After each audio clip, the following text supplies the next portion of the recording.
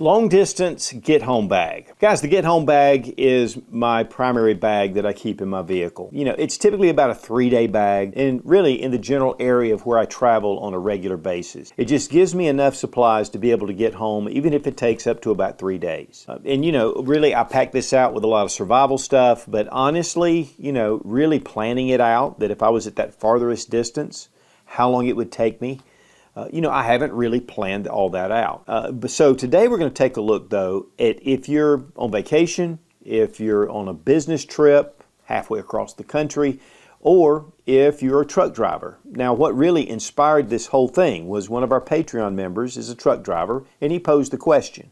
He said, Sometimes I'm a long distance from home. Could I do a video talking about a lot of the things you would need to get from point A to point B, which is home? One of the first things, though, guys, that you need to do is make a plan. You know, again, it's not just a bunch of random survival stuff in your bag. You've got to have some ideas about how long it might take you.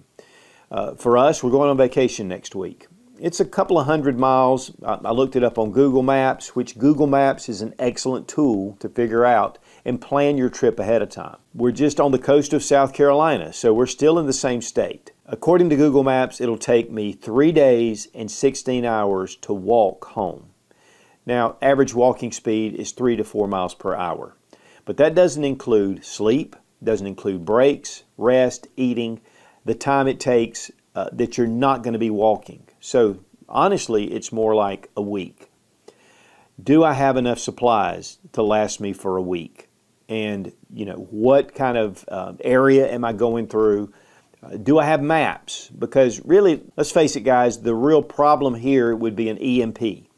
EMP happens, you don't have any communications, you know, you don't have the internet, you don't have Google Maps. And so you really need to plan out your trip ahead of time. If you're planning on going on a trip anytime this year, go ahead and plan it out, see how long it takes you, and then figure out how long it would take you to get home on foot. Now, if you're using a bicycle, which is also on Google Maps, and guys, all of these different data points are on Google. Uh, you can a bicycle will take one day and 12 hours for me to get home. But here's the other side of it. Uh, if I'm on vacation with my family, then I'm going to be traveling with my family, which is going to take a longer time. So, you know, you really have to think things through before you plan out a legitimate get home bag from a distance yes, again, I can throw all kind of survival items in there and have all kind of stuff. But if I don't really have a plan and really consider food, because that's going to be a big one, it's going to be really difficult to get home. So guys, while bug out bags are not my primary plan, uh, what we're going to talk about here applies to a bug out bag.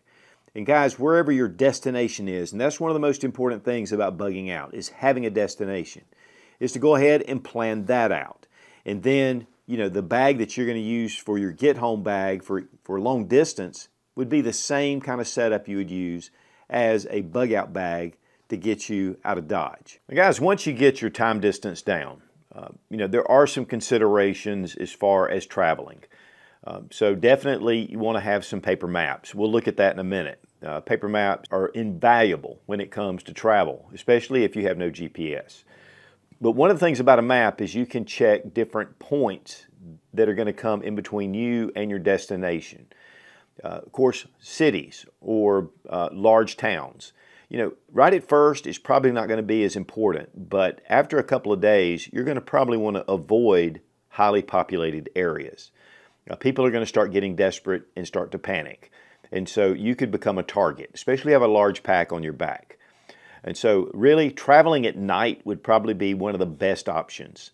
Of course, traveling at night has its own dangers, and you know, having flashlights to be able to see, uh, but that's also a beacon and makes you a target. Uh, also, you have to think about bridges and rivers, how to get across them. Uh, one of the problems with a bridge is it's a fatal funnel. Uh, it can be blockaded, it can be blocked. And trying to swim across a river with a really heavy pack on your back is not really an option unless you have a boat or some way to get across. Uh, and of course, finding out where fords are, where you can get across. Looking through those choke points, uh, whether it's a bridge, whether it's a highly populated area, uh, whether it's a giant ravine, you know, getting across those places and being able to get home and having that kind of planned out so you know ahead of time how you can detour and it's going to save you a lot of time in the long run. Now guys, we're going to be showing a lot of gear, but that doesn't mean that I recommend you putting all that gear in your bag. You need to craft your bag to suit you, to your preferences. But one of the big things is, is to plan it out. Uh, one thing I noticed in the comments with the live stream is that some people were just like, well, that's just way too much. I can't do all that. What? And, you know, that may be the case. Uh, one thing could be is you have slow mobility. Uh, you know, maybe you have some knee problems, hip problems, and you're going to be really slow on the go, uh, maybe down to one to two miles an hour. And you need to factor that in. But here's the thing, guys, and this is the bottom line. Uh, this is something that could be life saving uh, if you're a long way from home. And so you want to give yourself the best chance to get home. If you don't care about getting home and you want to stay where you are, that works too. But if you have family, uh, guys, you're going to want to get to your family. And the determination is going to be strong. And that's going to be a huge plus in getting you home. Now, one of the first things I would do is get the map uh, of that area that you're going into. Um, obviously, you know, you can get big maps. I mean, this is a big atlas for South Carolina, but you can get maps for the entire country. This is the southeastern United States, and this is uh, North Carolina, Georgia. These are the places that we go quite often. Uh, then here's just a United States atlas with road maps and pretty detailed.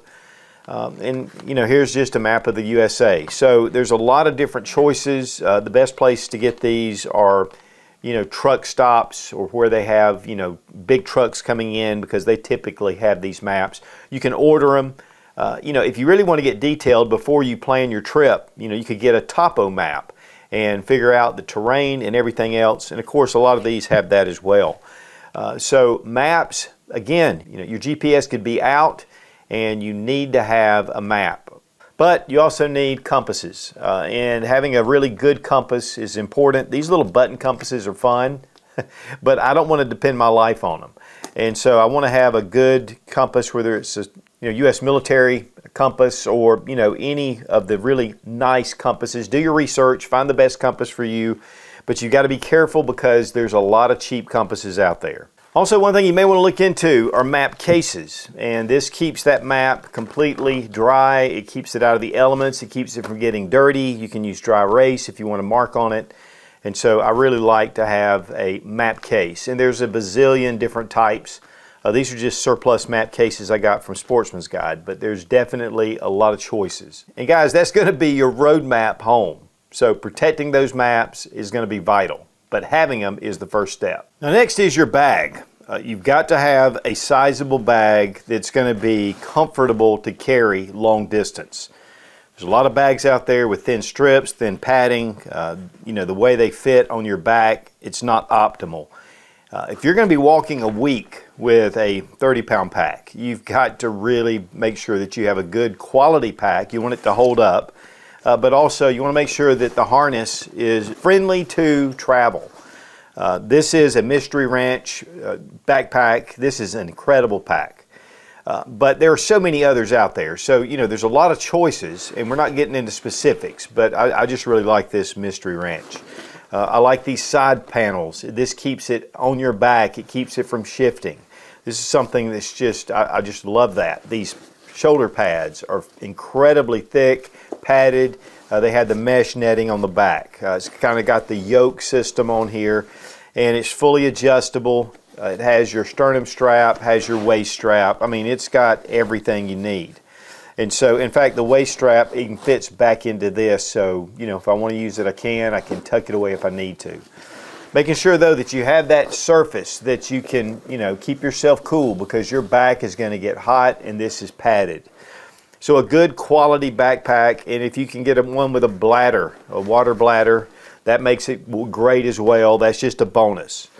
Uh, something that has some attachments at the bottom where you can attach a tent or tarp or whatever you need and plenty of space. You just need the space in the pack. Uh, this one, the way the straps are, it's going to keep it somewhat water resistant uh, with these zippers. They're covered and so this pack is made for the outdoors and it's not cheap. But if you need it, this is gonna be worth its weight in gold. So make sure you start out with a very large pack. Right, walking shoes boots, something that you can travel in, something that you've already broken in.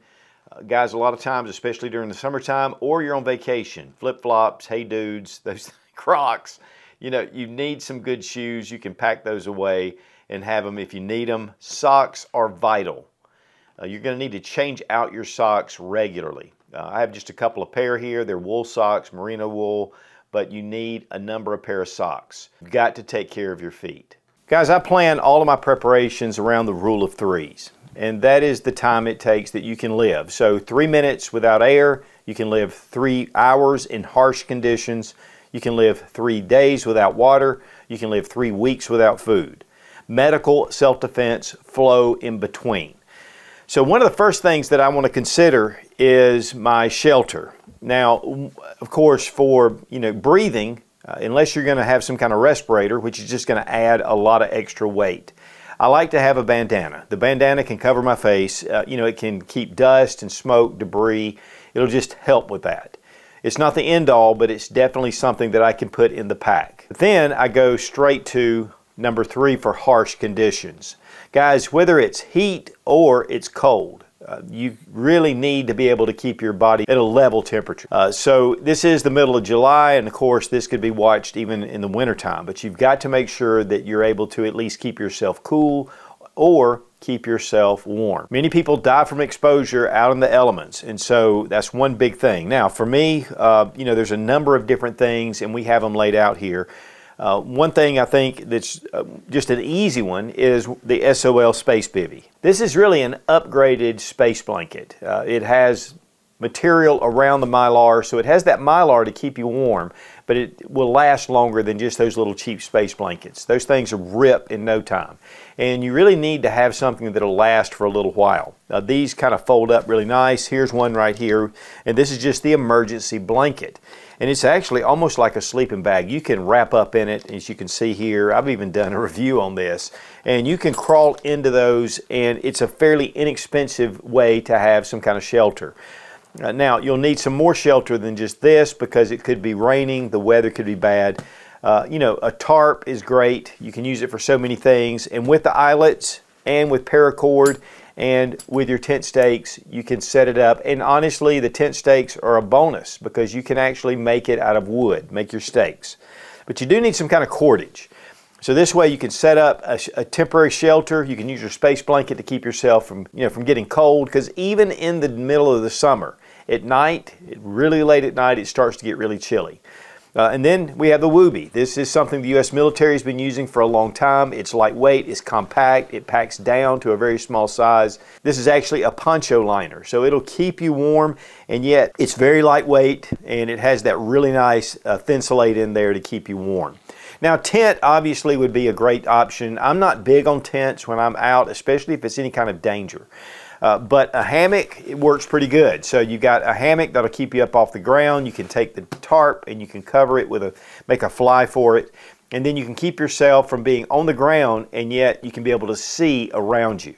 Now also with that, I have a watch cap. Uh, you know, these things are great and so keep your head warm. But a big plus is having a some kind of rain gear. Now here we have just a rain jacket, but rain pants would be great as well.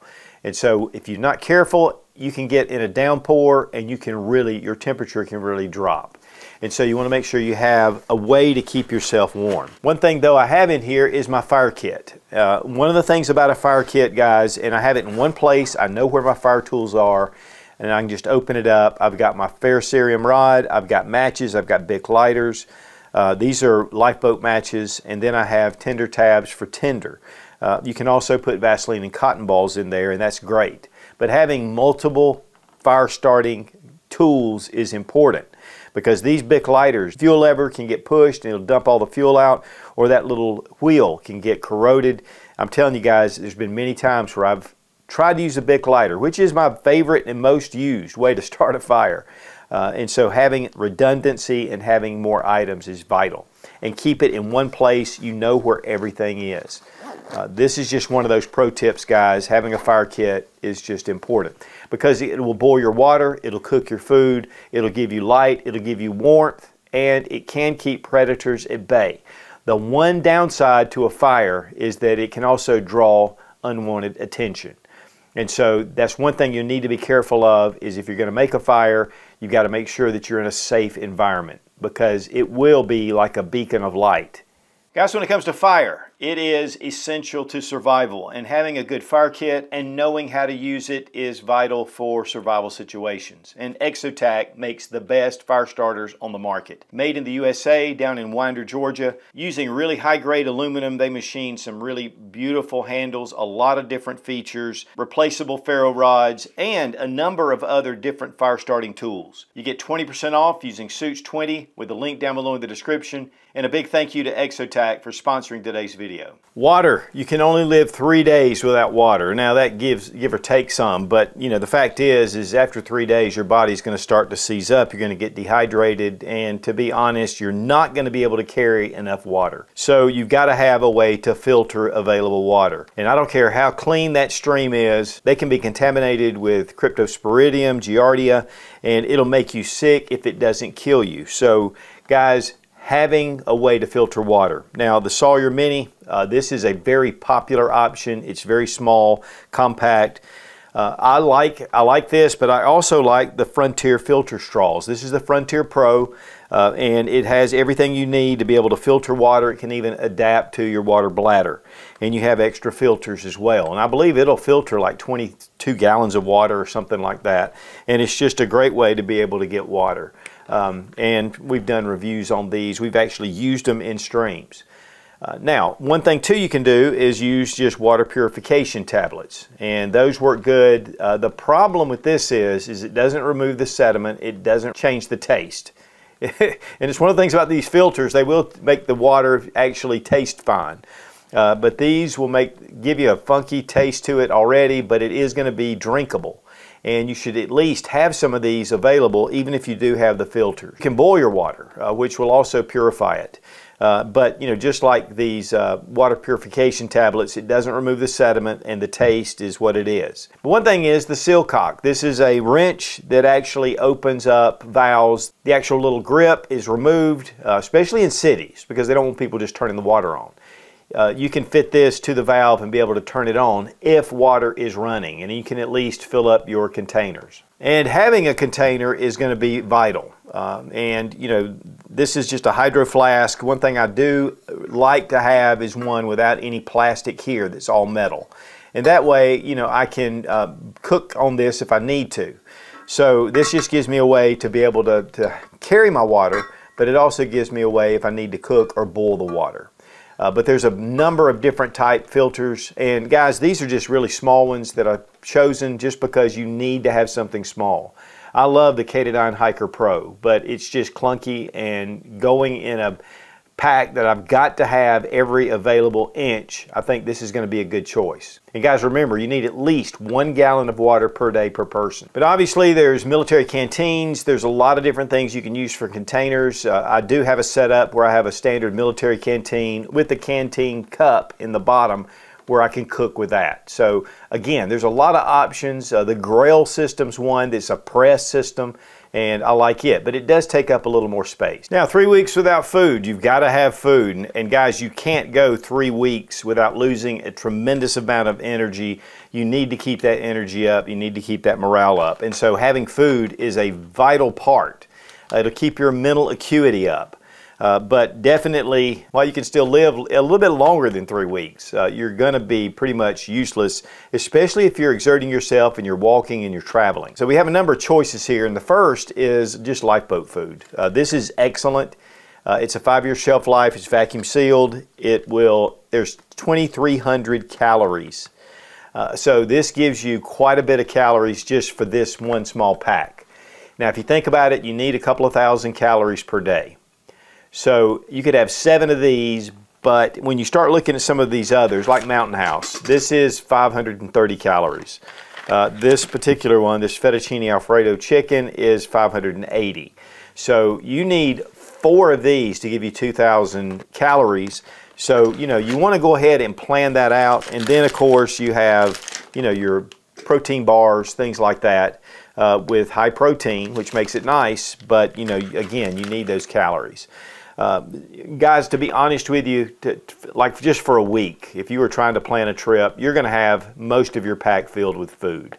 Uh, so there's going to have to be some other options, and maybe a fishing kit would be great to go in here.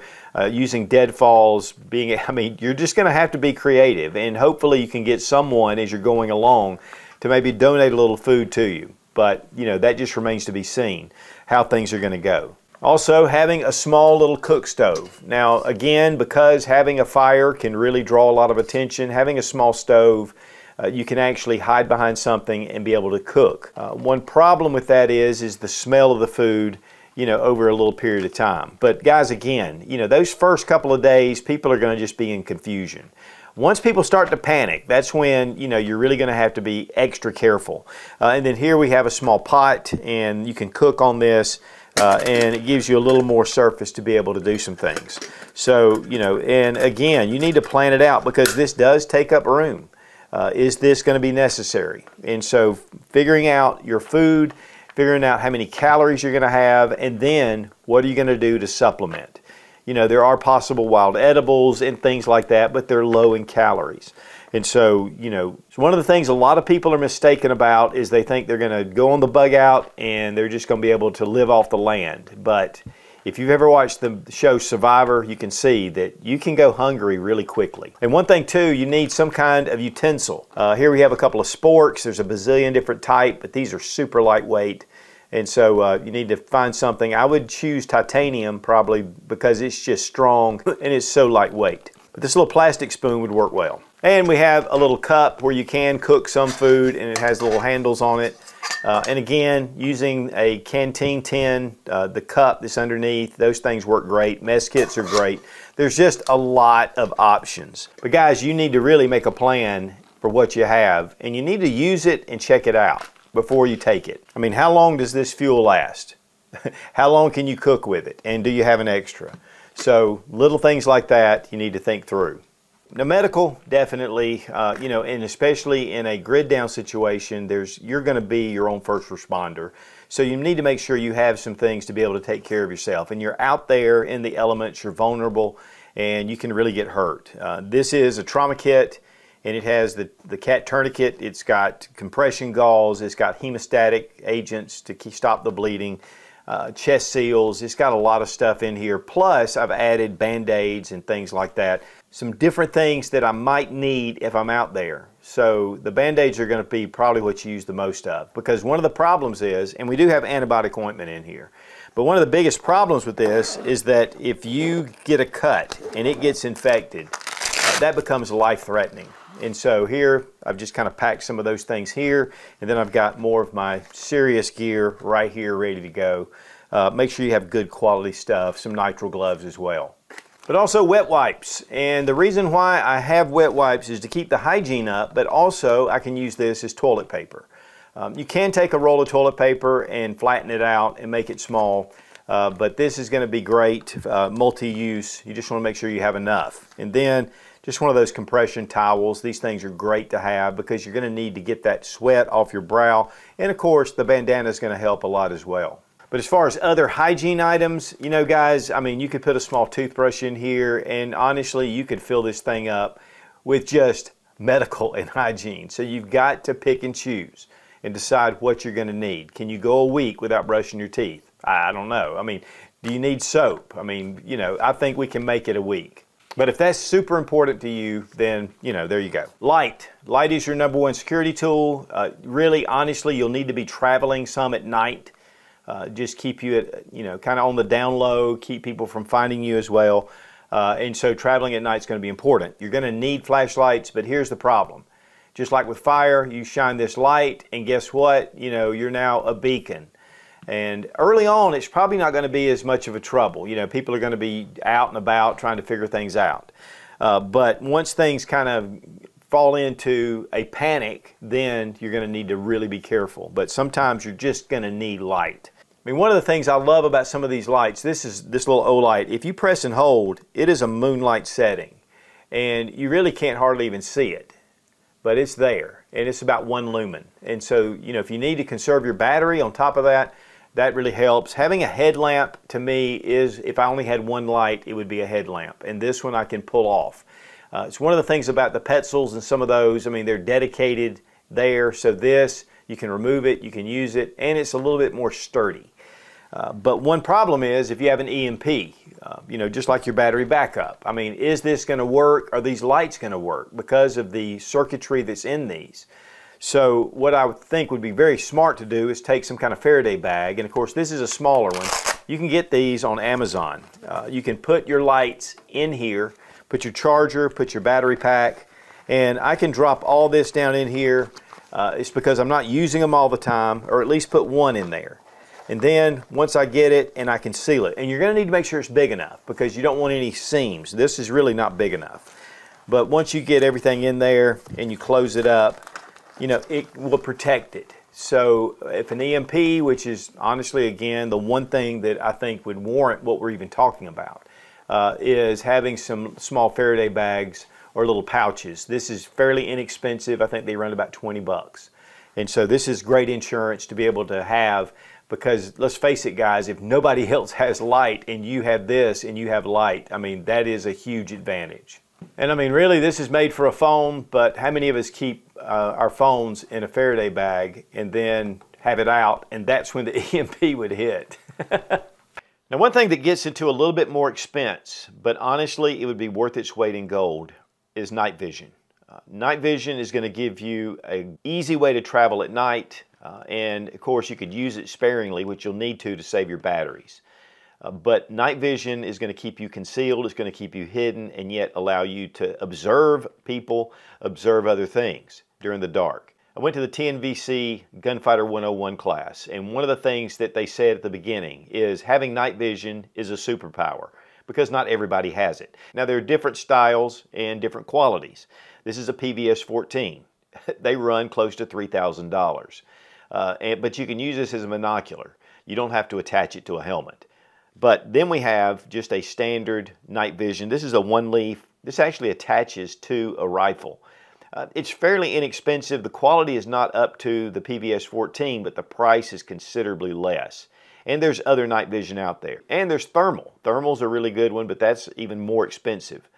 So finding some way to be able to have some night vision could really be a great option. One that I'll highly recommend is the Aurora series. Uh, the Auroras are great and they actually uh, record, they have it in color, and if you have an IR light, you can really see in distance. You will need, though, batteries for these. And in an EMP, it may knock these out. And so this would be something excellent to keep in a Faraday bag. Now, as far as self-defense goes, um, you definitely need some mode of self-defense. You know, the knife is definitely one, but pepper spray, bear spray, uh, you could even encounter some wildlife. And so having some kind of pepper spray uh, is going to be important. Uh, and then, too, it can get you out of a really tough situation. Uh, firearms, obviously, that is the number one choice, but a lot of people watch these videos from all over the world, and, you know, it's just not an option for them, uh, or at least a legal option. Uh, for me, of course, obviously you want to have your concealed carry. You want to have, obviously, whatever you can have uh, and to be able to get home. One thing about a business trip, if you're flying, uh, typically you can carry a firearm. You can, you can check it and uh, carry the firearm with you. And then you would have that when you got ready to leave, uh, if you were leaving on foot. So firearms are definitely important. A go-to rifle, I mean, that would be optimum, but you know, it's going to be a little bit more difficult. I mean, for me, on going on vacation, we will have one. But uh, that's just something that, you know, we need to weigh out. And obviously, there's a lot of choices, but definitely take care of the basics with some pepper spray and a good field knife. Now comes the tools. Uh, your knife is going to be one of your most important tools. Uh, there's so many uses. Man has been using knives since the beginning. Uh, this is just a Gerber, and you know it's just a good solid knife. You want a full tang knife. You want a fixed blade knife and something with a comfortable handle.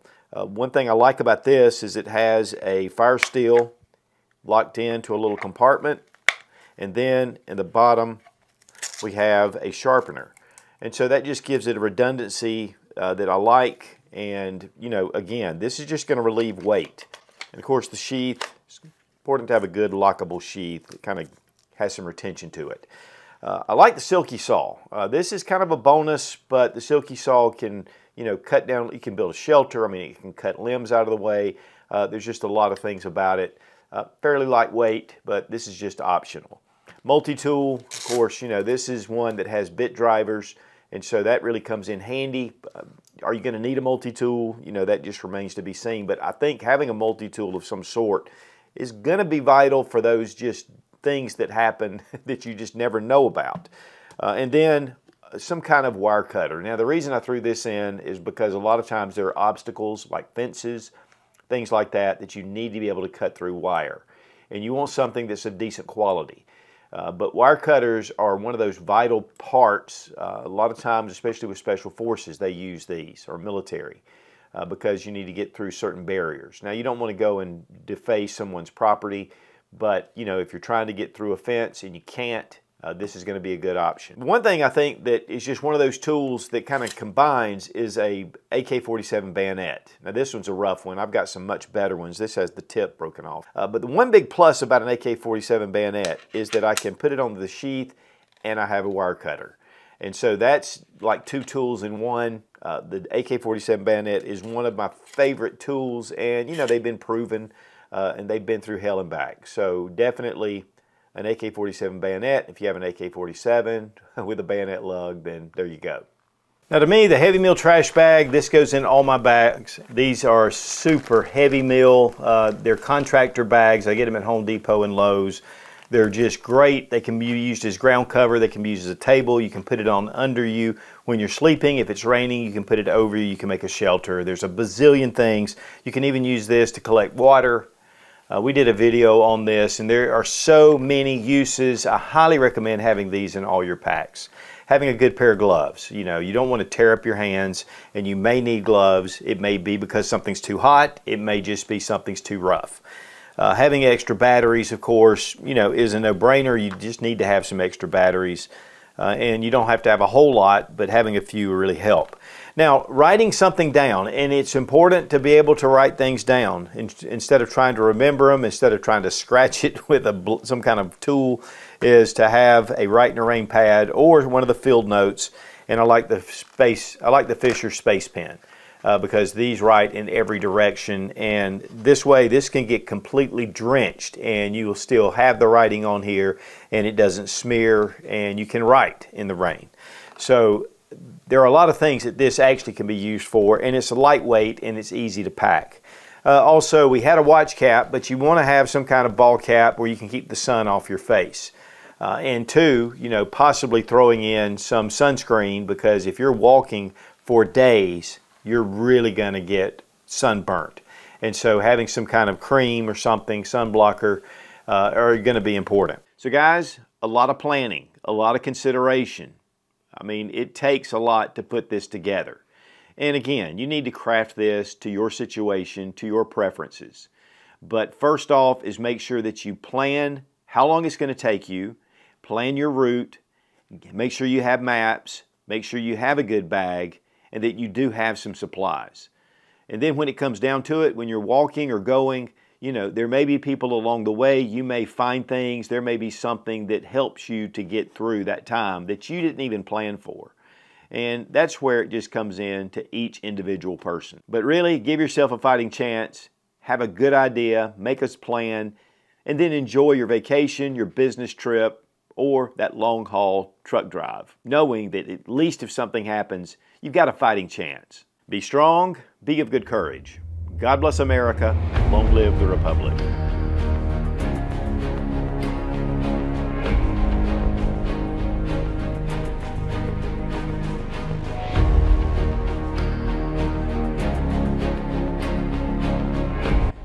Now guys, we're going to be showing a lot of gear and that does not mean that you need to carry all the items that I'm showing. Uh, if you can find better, lighter, and so if something were to happen and he was stuck in Minneapolis, he wants to get home, no matter what. That is his number one objective. And so we're going to go through a number, okay, no, no.